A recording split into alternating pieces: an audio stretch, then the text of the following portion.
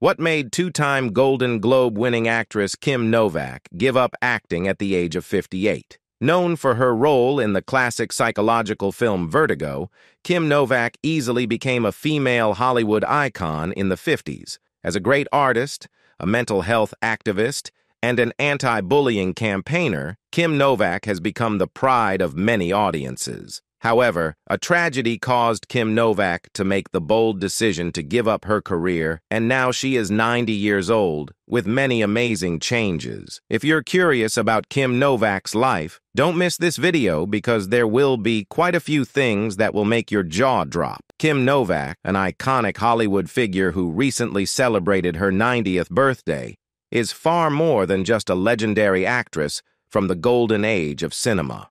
Her illustrious career, marked by her role in Alfred Hitchcock's classic film Vertigo, only scratches the surface of her multifaceted persona. Novak's life is a testament to her artistic talent, mental health advocacy, commitment to anti-bullying initiatives, and dedication to helping animals as a vet's assistant. But perhaps most strikingly, she is a remarkable force of life, displaying resilience even in the face of personal loss.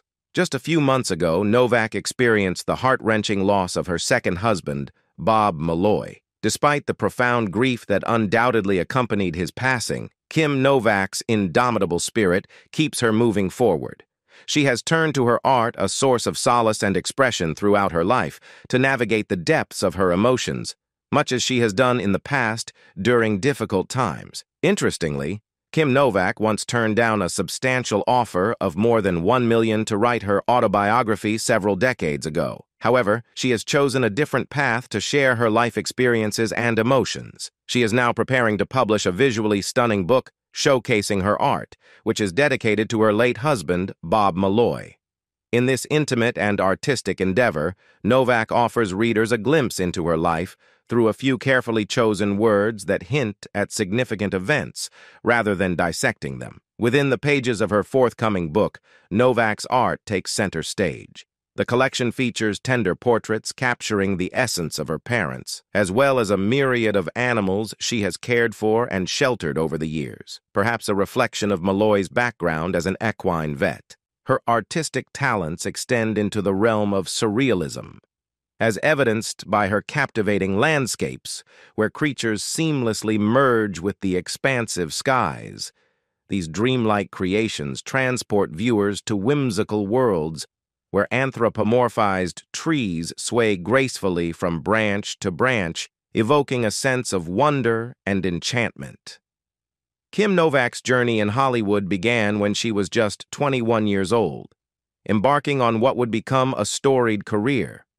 Her first credited Hollywood role came in the 1954 film Noir Pushover, where she acted opposite the veteran actor Fred MacMurray, who was significantly older, a quarter of a century her senior. With a twinkle in her eye, Novak fondly recalls a humorous anecdote from her time on set. She couldn't help but chuckle as she reminisced about an unintentional faux pas. She vividly remembered the moment when MacMurray opened his trench coat on set, revealing a garment that had been made the very year she was born. She had blurted out, Oh my God, that coat was made the year I was born. Reflecting on her youthful innocence, she admitted to feeling a tad foolish in that instant. Nevertheless, it was a testament to her unique perspective on people. Kim Novak didn't perceive individuals based on their age, but rather saw them for who they truly were. Just a year later, in 1955, Kim Novak found herself in the Oscar-winning film Picnic. She played Madge, a young and impressionable girl who finds herself falling in love with William Holden's character, an older and unemployed drifter. This role showcased her ability to convey the complexities of love and desire, transcending the boundaries of age. However, it was at the age of 25 that Kim Novak achieved her cinematic breakthrough, cementing her place in Hollywood history with her dual roles in Alfred Hitchcock's masterpiece, Vertigo in the film, she portrayed two characters that would define her Hollywood career, the enigmatic and alluring Madeleine Elster and the down-to-earth shop assistant Judy Barton. the plot revolves around James Stewart's character, Scotty, a retired detective who falls passionately in love with Madeleine. As the story unfolds, Scotty becomes obsessed and attempts to transform Judy into a replica of Madeleine. The poignant revelation of the film lies in the realization that Scotty's love is an illusion for a woman who, in truth, does not exist. Kim Novak, whose birth name was Marilyn Pauline Novak, came into the world in the vibrant city of Chicago. She was born to Czech parents who were known for their stern and serious-minded disposition. Her father had initially been a history teacher, but found himself working as a dispatcher for the railroad during the harsh economic times of the Great Depression. To make ends meet, her mother worked tirelessly at a bra and girdle factory. The Novak family lived in a challenging neighborhood, one notorious for its high crime rates, particularly for incidents of rape and murder. As a child, Kim Novak exhibited extreme shyness, so much so that she would hide behind curtains whenever visitors came to their home. Her parents, deeply concerned for her well-being, maintained a strict upbringing. Her mother insisted on keeping her in pigtails throughout her childhood and prohibited her from wearing makeup. These measures were taken to safeguard her from attracting any undesirable attention or influences, while her father fervently wished for Kim to excel as a diligent student, the young Marilyn harbored dreams that stretched beyond the confines of the classroom. She yearned to gaze out of the window and let her imagination soar. This tension between her dreams and her parents' expectations would become a recurring theme in her life. Adding to the complexity of her upbringing, the Novak family resided in a predominantly Jewish neighborhood in Chicago. Kim Novak's childhood was marked by encounters with local children who would often pick on her. She recounts instances of being knocked down, buried in snow, and even pelted with moldy deli pies. When expressing sympathy for her experiences, she surprises her interlocutor by offering a different perspective. She explains that these young, innocent Jewish kids were trying to seek a form of retribution for the tragic murders of their own kin. In a poignant revelation, she mentions that her own grandfather shared the first name Adolf, which under the circumstances could have easily been perceived as a connection to the infamous Adolf Hitler. Kim Novak's journey from her early artistic aspirations to her eventual Hollywood stardom was marked by a series of events that showcased her resilience and determination. It all began when she won two scholarships to pursue her passion for fine art at the prestigious School of the Art Institute of Chicago. This early recognition of her artistic talent was a pivotal moment in her life, setting her on a path to self-discovery and creative expression. In an effort to help Kim Novak overcome her shyness, her mother enrolled her in the Fair Teen Club, a youth group. Little did they know that this seemingly simple decision would have a profound impact on her future. The head of the club recognized something special in Kim and encouraged her to explore modeling as a means to boost her self-confidence.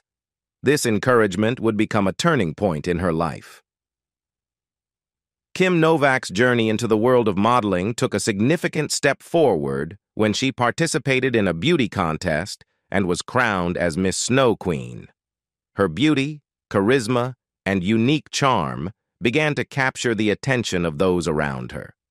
As fate would have it, the summer of 1953 brought an unusual opportunity. Kim, along with three other girls, embarked on a tour across the United States. Their mission? To demonstrate Thor refrigerators, a job that required them to open fridge doors and sing a catchy jingle. There's no business like Thor business. This unusual gig resulted in Kim being crowned Miss Deep Freeze, a testament to her adaptability and ability to make the most of unexpected opportunities. However, it was during a visit to RKO Studios that Kim Novak's life took a dramatic turn. She was offered the chance to work as an extra in two movies, marking her first steps into the world of film. Her undeniable presence and natural talent on screen did not go unnoticed, and she was soon signed up by Columbia Pictures, a studio under the leadership of the formidable Harry Cohn. While Alfred Hitchcock, known for his demanding approach to female stars, was a notable figure during her career, Kim Novak surprisingly found Hitchcock to be fine to work with. Instead, it was Harry Cohn who would become the antagonist in her Hollywood story. Cohn urged her to change her name to Kit Marlowe to make her more marketable, a request she firmly refused. In a compromise, she adopted the name Kim.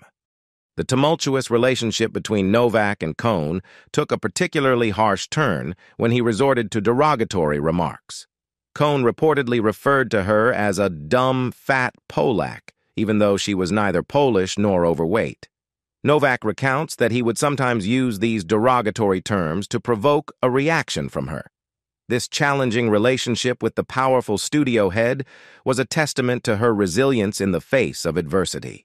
Kim Novak's Hollywood journey was not only marked by her artistic accomplishments and the challenges she faced within the industry, but also by her personal relationships, including one that drew significant attention. Rumors began to circulate that she was involved with the legendary entertainer Sammy Davis Jr. However, her relationship with Davis was met with strong opposition from Harry Cohn, the head of Columbia Pictures, who believed it would be detrimental to her career if she were to be romantically linked with a black man. In response to these rumors, Cohn took extreme measures to keep Kim Novak away from Sammy Davis Jr.'s residence, fearing that their relationship would have a negative impact on her image in a racially divided society. Kim recalls her fondness for Sammy's family, describing them as wonderful. Sammy Davis Jr. had already lost one eye in a tragic accident, and the threats from Harry Cohn escalated to a horrifying level, with Cohn allegedly warning that he would have Sammy's remaining eye removed. Kim believes that Cohn's ties to organized crime may have made such threats all too real. The complex nature of her relationship with Sammy Davis Jr is evident as Kim Novak discusses it. She admits to loving him, but distinguishes it from being in love with him. When asked if Sammy was in love with her, she affirms that he was indeed, describing him as a big child. For Kim Novak, referring to someone as a big child is a supreme compliment. Sammy Davis Jr.'s vulnerability and his ability to remain emotionally open and genuine despite the challenges he faced resonated deeply with her. She recognizes the need to treat someone as sensitive as Sammy with utmost care and consideration. Kim Novak's reminiscences of her time working with James Stewart, one of Hollywood's most beloved leading men, provide a glimpse into the remarkable authenticity of their connection. Novak and Stewart shared the screen in two memorable films, Bell, Book and Candle, and the iconic Vertigo. Her admiration for James Stewart is palpable. She speaks of him with genuine fondness and respect, emphasizing his unique character within the often glamorous and superficial world of Hollywood. Novak describes Stewart as someone who remained untouched by the allure of vanity and fame, even as a prominent leading man in the industry. This quality set him apart from many of his peers, as he chose to live a life guided by authenticity rather than succumbing to the temptations of superficiality. Novak's reflection on their relationship paints a picture of camaraderie and genuine friendship. She recalls moments when, after completing a scene, they would casually remove their shoes, prop their feet up on the table, and simply hang out together. Their comfortable companionship was a testament to their shared authenticity and down-to-earth nature. In an industry where image often takes precedence over substance, their ability to remain real was a rare and cherished quality. James Stewart's unwavering authenticity in the heart of Hollywood's Beverly Hills earned him Kim Novak's deep respect.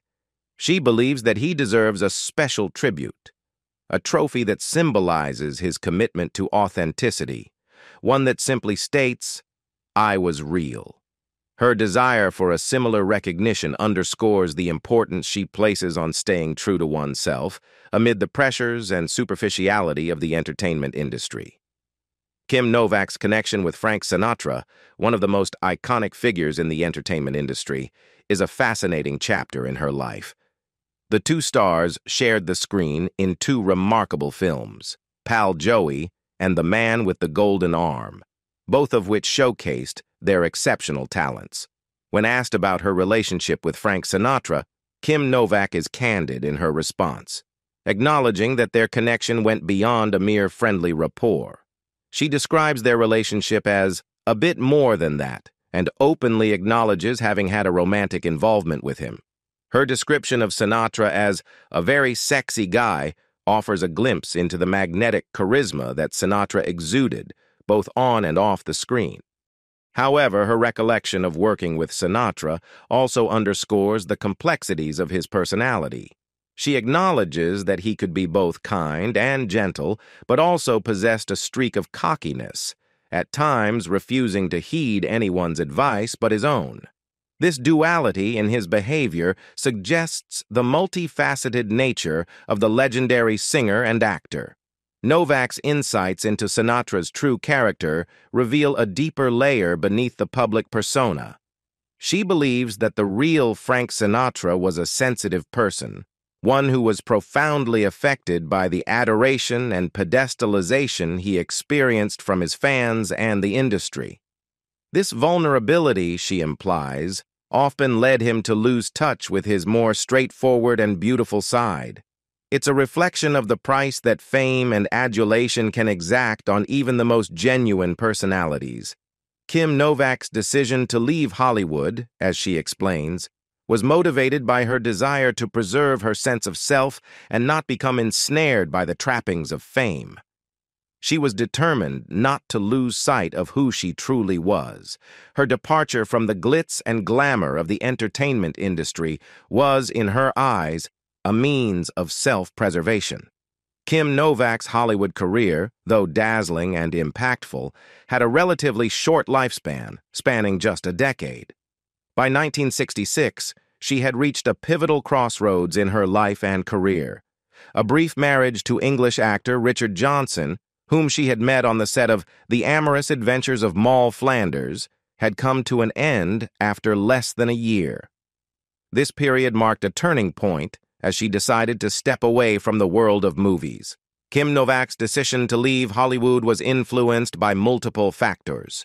She had grappled with depression since her teenage years, a personal battle that she had fought silently. The fluctuations in her mental well-being weighed heavily on her, with moments of happiness soaring to heights beyond visibility, only to be followed by the descent into the depths of the proverbial hole. The unpredictability of her emotional state was a constant source of concern and fear for her. Furthermore, the roles and opportunities that were coming her way in the 1960s no longer aligned with her artistic aspirations.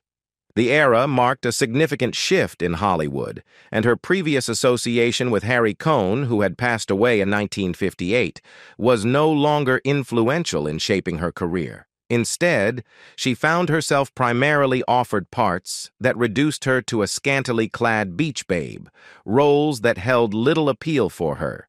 Kim Novak's desire to be appreciated for her true self and the depth of her artistic abilities became a driving force behind her decision to leave Hollywood. She longed to express herself authentically, to portray characters that resonated with her own experiences and emotions, one particular aspiration she held close was the opportunity to play the role of someone struggling with mental illness. Her deep personal understanding of these emotions led her to believe that she could deliver a profound and authentic performance. The signs that Kim Novak's Hollywood career had reached its conclusion extended beyond her professional sphere and seeped into her personal life. Her decision to leave the industry was marked by a series of events and realizations that underscored the need for a fresh start and a departure from the California coast, where she had been residing in Big Sur. The first significant event that foreshadowed her departure was a devastating fire that engulfed her home, resulting in the loss of most of her valuable possessions. Despite this setback, she chose to remain resilient and rebuild. However, the forces of nature were not done testing her resolve. A mudslide soon followed, taking away her newly reconstructed home. It was at this point that Kim Novak recognized the universe's message to her. It was time to pack up and move on. She recounts her decision to rent a van and take with her only what she deemed truly important. Her photographs, art supplies, and artistic materials took precedence, emphasizing her commitment to her artistic pursuits. The mudslide in her eyes was a clear sign that her time in Big Sur had come to an end. It was a wake-up call to embrace change, to seize the opportunity while she could, and to avoid waiting until age and time rendered her obsolete in the eyes of Hollywood. Kim Novak's journey took her to the serene Pacific coast of Oregon, where she encountered Bob Malloy, their meeting eventually blossomed into a marriage in 1976. With Malloy, she discovered a new life, one filled with purpose and contentment. Her role shifted from Hollywood star to an assistant in her husband's veterinary work. She reveled in the hands-on involvement, even assisting him during surgeries, which she found fulfilling and meaningful. In this phase of her life, the focus shifted away from acting and her priorities evolved. She immersed herself in her art, explored poetry, embraced the joy of horseback riding, and reveled in the beauty of nature. The bustling world of entertainment no longer held its allure for her, and whenever she occasionally returned to TV or film, it served as a stark reminder of why she had chosen to leave it behind. Kim Novak's relationships with animals, particularly her shared bond with her husband Bob Malloy, occupied a central place in her heart. She spoke fondly of these connections, describing the animals as her children. Her deep, nurturing instincts, which she equated to mothering, found expression in her care and love for animals. When asked about whether she had ever wanted children of her own, she responded with candor, admitting that she had not pursued motherhood. Her reluctance stemmed from a fear that her offspring might inherit the mental health issues that had plagued her life, a desire to spare them from such suffering. Kim Novak's journey with mental health took a significant turn in the early 2000s when she received a diagnosis of bipolar disorder. Rather than keeping her diagnosis a secret, she chose to become an advocate for mental health awareness and sought to destigmatize the condition. In her efforts to normalize bipolar disorder, she shared her experience openly, emphasizing that it is just another illness that can be effectively treated, in her case with antipsychotic medications. Kim Novak's journey with medication was not without its challenges.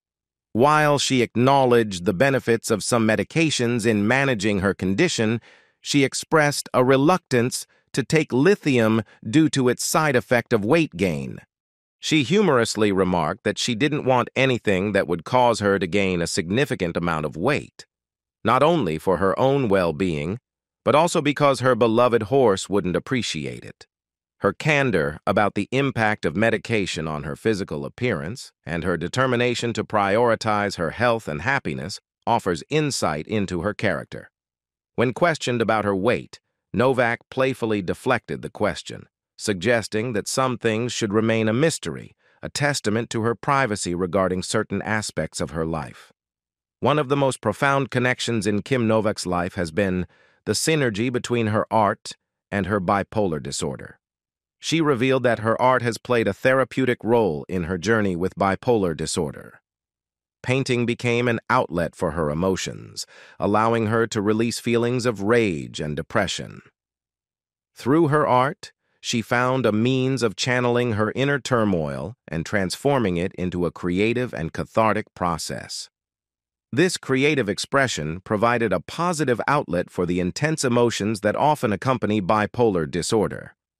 In terms of her physical appearance, Kim Novak became a subject of public attention and scrutiny in 2014 when Donald Trump took to Twitter to comment on her appearance after she presented an award at the Oscars.